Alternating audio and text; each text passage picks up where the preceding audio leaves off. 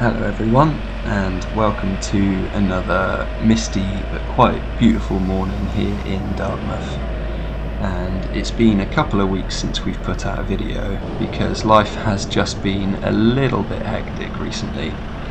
We've got our little newborn boy and my wife and I are both back at work just trying to figure out the new balance of things and juggle life now that we are a family of four but we really enjoy making these videos for you. So we wanted to put out another one and today seems like a good opportunity to take you on a little driving tour around some of these tight wiggly little back streets of town. And we really enjoy driving some of these roads. It's a bit of a challenge and can be a little bit stressful when you meet traffic but that is part of the fun of it so we've got a few things to do around town, but as always we're just up super early and nothing's open just yet.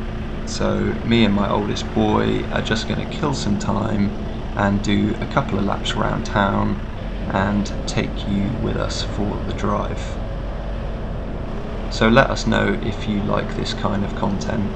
Subscribe to the channel if you do and let us know in the comments if there's another video you would like to see from Dartmouth soon. Not everyone's so lucky to live in such a beautiful place and it seems a lot of people are watching the channel and do quite like the insight into our daily lives. So I will leave you here to enjoy this little drive around town and I hope you enjoy.